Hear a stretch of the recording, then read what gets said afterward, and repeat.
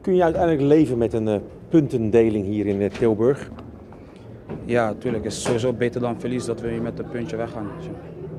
Maar het was niet zo goed als de laatste weken, hè? Ja, ik, ja, ik vond op zich dat we wel goed terug waren gekomen. Ja, dat we met de punt moeten meeleven.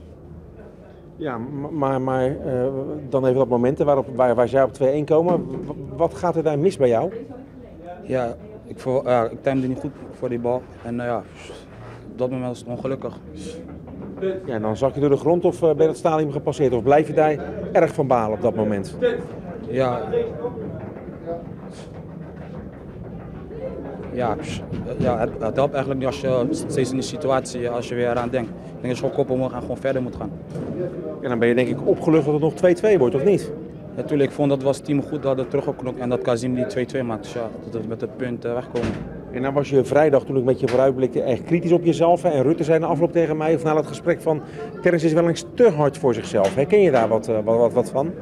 Ja, tuurlijk, voetballen maak je wel fouten en soms gaat het goed. En dat je niet, uh, dat je niet alleen maar negatief moet denken, ook positief. Zo haal je vertrouwen daaruit. Ja, maar ben je wel eens hard voor jezelf of te hard?